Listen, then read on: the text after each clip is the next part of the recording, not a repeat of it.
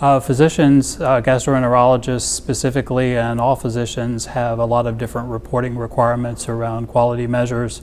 Uh, the people within my work group develop measures, maintain those measures, and test the measures for implementation in national programs. Uh, the measures are specified first. We start with denominators and numerators and look at exceptions and exclusions that are relevant to those measures and drill down into the details that you mentioned around coding and determine specifically what codes relate to the measure the way that we want it to be calculated so that it's actually meaningful in providing better care.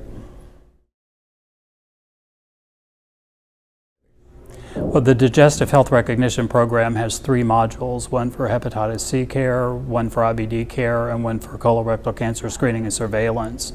So the physicians and other providers who participate in the DHRP are when they enroll in the program, they, they are fed various screens to import the data.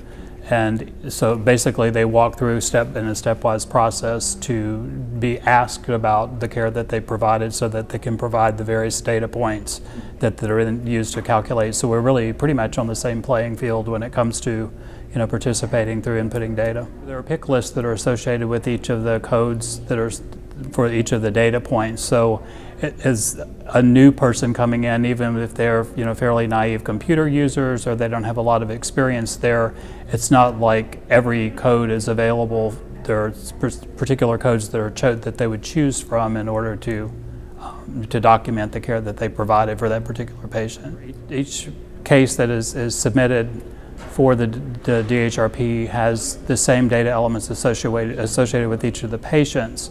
So when the information is fed back to the physician to see how she's doing in relation to a particular measure, each of the patients are equal in terms of the, the data that is provided to them related to the patient.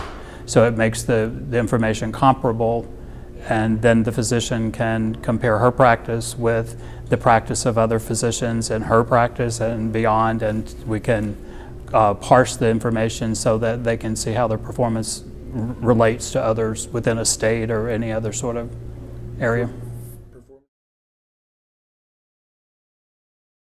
The burden of data collection and reporting is quite large for physicians in all areas of practice. And many of those measures are basically documenting the process of care. And I think what physicians are wanting now is to see that the the data collection burden yields something that is of added information to them to help them take better care of their patients.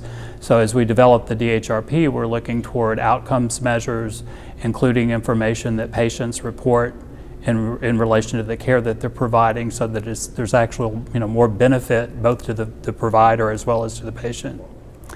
Personally, I believe that physicians are providing good care and their intentions are as they've always been. I think the data collection burden at this point is pretty heavy for most physicians and basically what I hear physicians asking is that when they participate in a quality improvement program or in a data collection uh, program or a quality reporting program, that they want some benefit from that so that they can document for themselves and be able to use the, that information to help them in providing the care that you're talking about that is now often you know, burdened with other requirements. I think it's going to take some number of years. Different people have approached the implementation of electronic health records in their practices at, at, at different speeds. Uh, some people decide they want to do this overnight and they're going to make it happen and many resources are put toward being able to do that from the front end. Others have been able to turn on various functions within EHR so that they're doing it in an incremental basis, getting a little more experience. So it really is more the size of the practice, the sophistication of the people in the practice who support the physician, and then those decisions sort of drive how quickly people approach um, the implementation of EHRs and other supporting systems. Like we hear many physicians not only have an EHR, but they work with two or three different EHRs if they do hospital-based practice and ambulatory practice. So there, it's really a hard question to answer with a, a simple answer because there's so many ways that that's happening across the country. Sure.